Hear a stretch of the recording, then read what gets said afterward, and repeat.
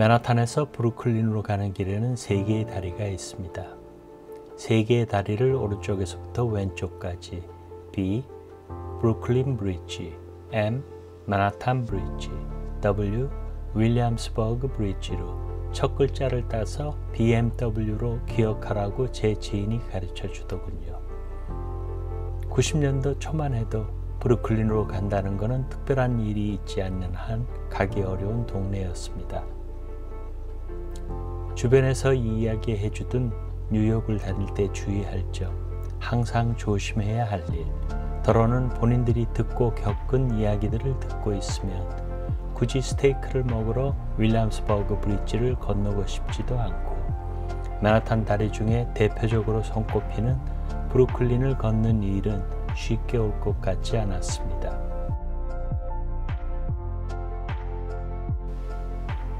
지금은 부두로서의 역할은 하지 않지만 볼거리가 많은 쇼핑센터로 바뀐 자주 가던 로어 맨하탄에 있는 사우스 시포트의 피어 17 테라스에서 보는 브루클린 브리지만 봐도 흡족하였습니다.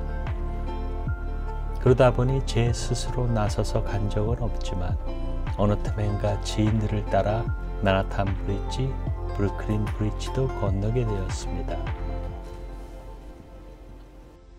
브루클린 브릿지는 맨하탄을 관광하는 사람들에게도 걷기에 많이 추천되는 다리이지만 윌리엄스버그 브릿지는 건너자마자 나오는 오래되고 유명한 피터 루그 스테이크 하우스 외에는 크게 사람들에게 인상 깊게 남겨지지는 않는 듯 했습니다.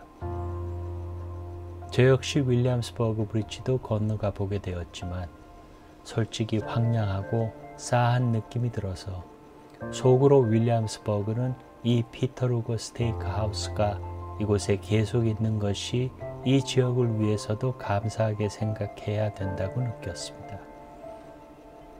계속 지내다 보니 브루클린 브릿지는 관광객들이 많이 건너는 다리이고 윌리엄스버그 브릿지는 현지인들이 많이 건너는 다리라고 하면서 다리 건너에 있는 윌리엄스버그가 조금 무서운 것만 빼면 참으로 좋은 동네라는 얘기를 종종 들었습니다.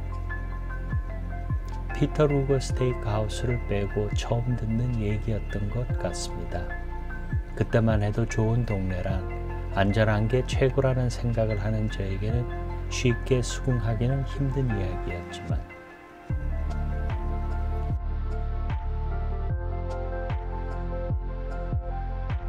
줄리안이 시장의 뉴욕을 바꾸기 위한 전쟁의 노력 덕분에 여러 방향으로 더 멀리 걷는 재미를 더해가던 제게 예전에 들었던 이런 얘기들이 차츰차츰 뒤늦게 수긍이 되어가던 날들이 있었습니다.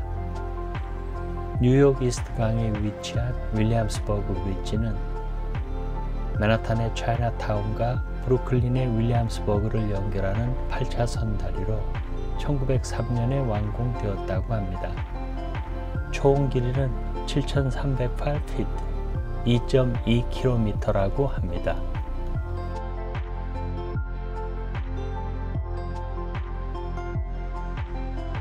서울에 비해 뉴욕에서는 생각보다 다리를 건너는 사람이 많이 있습니다. 보행자들을 위해 다리에 진입하기가 생각보다 쉽게 만들어져 있고 안전하게 전용 도로가 만들어져 있어서 산책을 하거나 운동을 위한 걷기, 반려견을 동반한 산책, 자전거로 출퇴근 등 다양한 이유로 다리를 건너곤 합니다. 일반적으로 다리 한쪽에 보행자를 위한 인도가 있지만 윌리엄스버그 브릿지는 두 개 층으로 구분이 되어 있습니다. 1층에는 자동차와 전철, 2층에는 보행자와 자전거 전용 도로가 있어서 자전거로 다리를 건너는 사람들을 많이 볼 수 있습니다.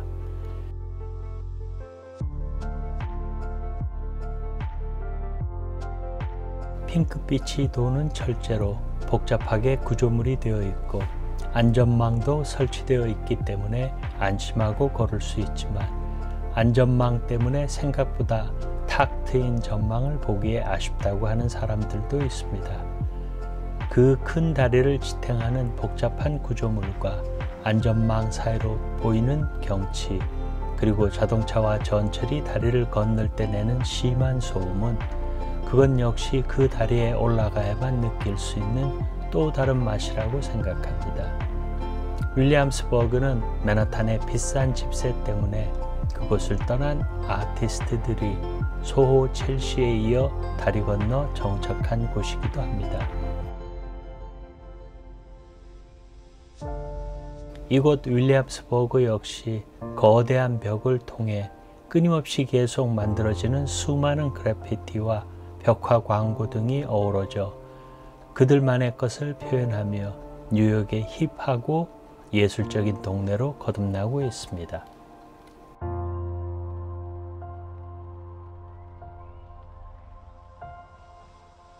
영화 비긴 어게인에서 택시를 타고 사진을 찍으며 건너는 다리.